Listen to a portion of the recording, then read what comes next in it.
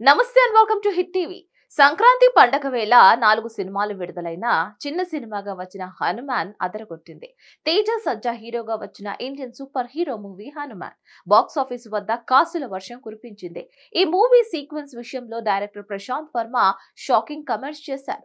అయితే ఈ చిత్రానికి సీక్వెల్ ఎప్పుడెప్పుడా అని అందరూ ఎదురు చూస్తున్నారు. తాజాగా మీడియాతో జరిగిన ఒక ఇంటరాక్షన్లో ప్రశాంత్ వర్మ మాట్లాడుతూ హనుమాన్ సీక్వెల్ జై హనుమాన్లో తేజ సజ్జా హీరో కాదు. ఈ సినిమాలో హనుమంతుడిగా కనిపించనున్నాడు. కానీ హీరో ఆంజనేయ స్వామి ఒక పెద్ద నటుడు ఆ పాత్రను పోషిస్తాడు.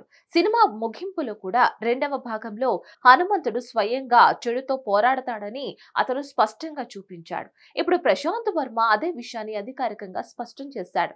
మరి దేవుడి పాత్రలో ఎవరు నటించబోతున్నారో వేచి చూడాలి. ప్రపంచ వ్యాప్తంగా రెండు వందల కోట్ల మార్కుకు చేరవలో ఉంది.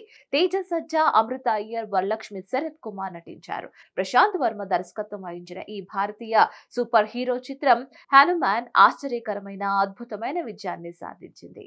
దీనిపై మరిన్ని అప్డేట్స్ కోసం please like share and subscribe to hit TV.